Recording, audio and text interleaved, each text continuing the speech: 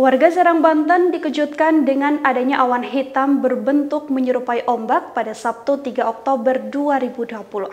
Adanya fenomena tersebut bahkan membuat sejumlah orang cemas lantaran dianggap menjadi pertanda akan adanya bencana. Menanggapi hal itu, BMKG lantas buka suara. Diungkapkan oleh seorang warga Taktakan Kota Serang bernama Wulan Indah, kemunculan awan tersebut tampak persis seperti ombak dan berwarna hitam pekat. Wulan menjelaskan setelah kemunculan awan hitam itu, sempat terjadi hujan deras namun tidak disertai angin dan juga kilat. Sementara itu dikutip dari kompas.com, menyikapi hal tersebut Kepala Seksi Badan Meteorologi, Klimatologi, dan Geofisika atau BMKG kelas 1 Serang, Tarjono mengatakan fenomena tersebut adalah fenomena self-cloud. Ia juga menjelaskan bahwa awan itu merupakan fenomena alam biasa Tarjono mengungkapkan self cloud adalah awan arkun yang membuat formasi awan horizontal rendah dan biasanya muncul sebagai awan aksesoris dari cumulonimbus.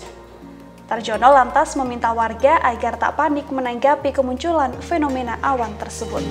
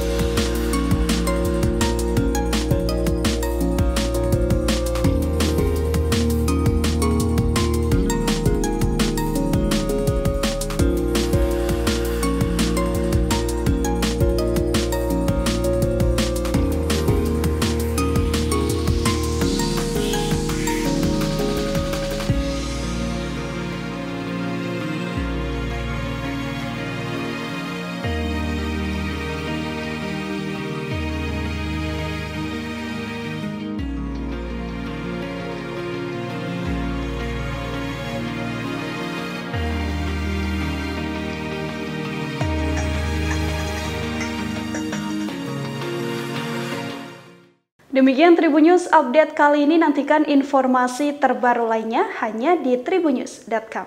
Terima kasih sudah nonton. Jangan lupa like, subscribe, dan share ya.